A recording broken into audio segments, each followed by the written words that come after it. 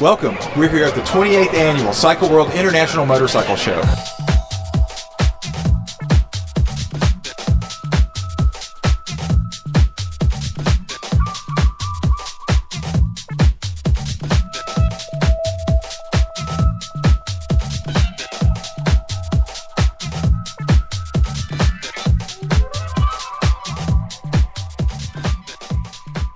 This thing is huge. It's three big days, but we're going to hit the top spots, the ones that you cannot miss. So come on, let's go. Since 1980, Cycle World Magazine has sponsored the largest motorcycle show series in North America.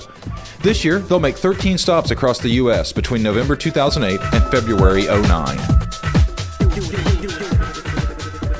Okay, I'm here with Danny from Can Am, and he's going to tell us about the Can Am Spyder. Uh, the Can-Am Spyder is the next dimension of on-road riding. It gives you the stability and peace of mind uh, of a car, but on more of an open-air motorcycle frame. Okay.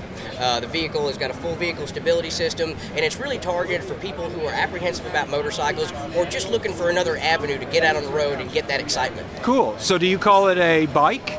Uh, well, I, it would, I call it a sport tour. Uh, Okay. Or a reverse trike. A reverse trike. I like that. So, what's a Can Am Spyder cost these days? Uh, your range is between 16 and 18-ish. Okay. Um, you know, they're very, very competitively priced for the market, and you're getting a lot out of the machine. Uh, the machine was over 12 years in the R&D phase. Wow. Uh, it's been worked and reworked again, and every customer that we've had, any person that we've had ride it, has been absolutely just blown away with the stability, the comfort, uh, and just the general feeling of security you get being on the machine opposed to being on a two-wheeled motorcycle. Right, and these are brand new.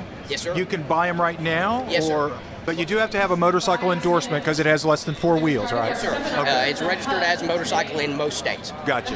Well, thank you, Danny. Can-Am Spyder, pretty wild. Check it out. For PlacesToRide.com, this is Rex Brown at the 28th Annual Cycle World International Motorcycle Show.